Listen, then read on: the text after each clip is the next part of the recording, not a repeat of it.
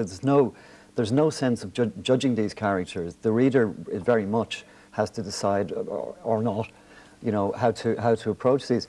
Uh, I, I the, the, part of it that, that I liked least in, in, a funny way was the three stories that are linked together because it makes almost a novella. And having been billed as this great short story writer, what I wanted to see was the great short story mm. writer. And I certainly wasn't disappointed in the rest of the book. The, the, the best one by, for me by far was Tricks, mm. which is where this nurse, who's a Shakespeare fan, uh, encounters in this relationship with a, a Serbian clockma clockmaker. And what's always happening, what links these things together, I think what links all the stories together is all these people are running away from something. Yeah. and they're finding home. And they're not quite sure when they find home they're not quite sure that they're there or they screw it up somehow. Mm. or fate in, they, they make a fateful decision in her case in this story the wrong green dress she wears mm. that completely alters the course of her life. And all of them are in search of home but not quite sure they want to get there. And I find that deeply moving. It's a very poignant work Harry, uh, um, no, no, doubt she's a great writer and very, very skilled. You know, as Philip was saying, you do kind of go, God, that was very, mm. I wish I'd thought of that, the whole yeah. way through it.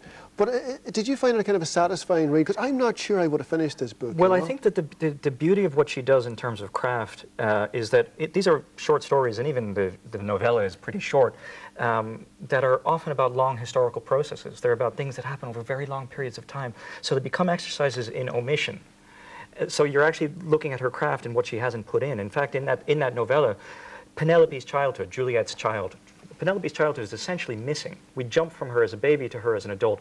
Brief flashbacks into her childhood, but our whole puzzle, our whole emotional involvement is in what happened during that time. But you get one key to it, Harry, where yes. you find out that when her daddy died, she didn't even bother going to well, bring exactly, her and tell yeah. her and bring her to the theatre, and that gives the and whole then, thing And then away. also, if you see it as a collection as a whole, there's another beautifully drawn child of roughly the sort of the same age Ten. as that, Lauren, mm. in the story Trespasses. Mm. And there's a great sense of sympathy with children and That's of... Right. Uh, of a sense of the emotional burdens we place on children, particularly those of us who are kind of bohemian parents, that's or right. you know, the, how much we expect of there's, there's, there's a wisdom yes. in this book that, that yeah. you know, I think that's what you're touching on. It's, she's what 70 something now. Alice yeah. Munro, yeah. you know, she so she, be, she knows what she's talking about, and that comes through, I think. And family relationships, you see, the, the, I agree, Philip's absolutely right. You go back to the home, you see, they're all looking for home, but when they get to the home, it's usually parents or uh, uncles or aunties who have made some kind of mistake and that is visited on them and the character's trying to break out of that or being caught and not being able to break out of it because they don't face it. Okay, we're going to have to leave that one there. Alice Munro's Runaway is selling in hardback for 20 euro.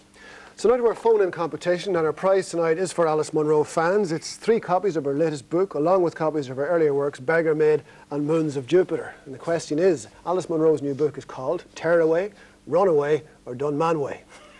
My, my thanks to our guests tonight, Harry Brown, Pat Coyle, and Philip Chevron. Next week, we'll be joined by Kevin Gildea, Catherine Ann Cullen, and Noel Sheridan, who'll be looking at the Kevin Bacon movie, The Woodsman, Rough Magic's Life of Galileo, Laurie Anderson at IMMA, and Moog Doyle's novel of the Irish War of Independence. And live in studio, Paul Tiernan. Before we go tonight, the Graham Ashton Brass Ensemble are internationally known for their innovative style and arrangements. They've played with everyone from the London Philharmonic to Harry Connick Jr. They're on tour around the country with Music Network this week and next, starting tomorrow night in Roscrea Castle and on Thursday at Dublin Castle. Here with Iron Tetrapod, the Graham Ashton Brass Ensemble. Till next week, good night.